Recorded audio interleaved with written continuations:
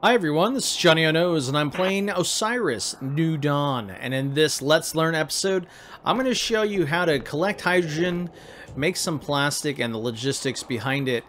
Now, I've got 16 barrels in my inventory right now. I'm at about 170% weight.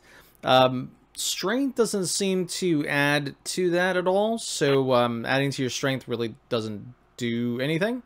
So um, this number kind of corresponds with the amount of inventory space you have in version 0.915. So I've got 16 barrels in my in my inventory right now. I'm going to go ahead and go down to my hydrogen resource here.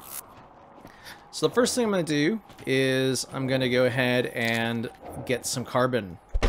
So one, two, three, four. I've got the resources at times four, so I'm getting four per hit. So I've got 16 carbon in my inventory now. Then I'm going to go ahead and slowly hover over here and put the barrel in my first slot here. And then you just uh, equip the barrel. You hit you hit one to uh, to whip it out, and as soon as you see hydrogen detected above your hydrogen, so you see hydrogen zero out of 100 right now. You get close to it, you'll see hydrogen detected in green above it. Just go ahead and hold down left click and the container will start to fill.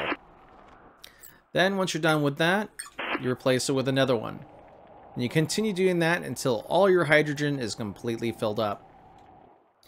Alright, so now that we're all finished with all the barrels, we're at 197.4 weight capacity. So this is right below where you won't be able to jump anymore. Obviously you can't sprint. Let me get my bearings here. But you can still use the jetpack to move about the map relatively quickly. So I don't necessarily need to have a habitat. Where is the hab? Oh, there it is. It's on this side. It's where we have the uh, the uh, planet with the rings that rotate in a strange way.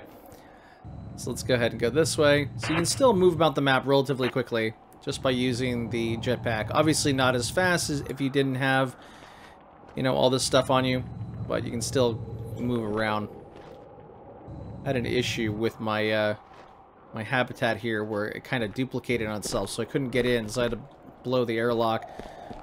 So you just head on over to your chemistry table, and now you can make a full stack of plastic with all of the barrels that you see here.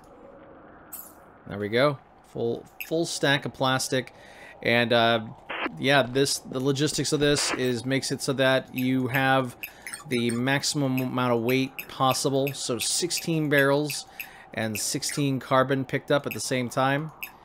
And uh, there you go, 16 plastic. Just do two runs of this. You'll be able to make a barracks relatively easy. Alright folks, so this is Johnny O'Knows playing Osiris New Dawn. Thank you so much for watching my video. If you have any questions about Osiris or any of the other games that I support, please go ahead and leave a question in the comments below. Thanks so much folks.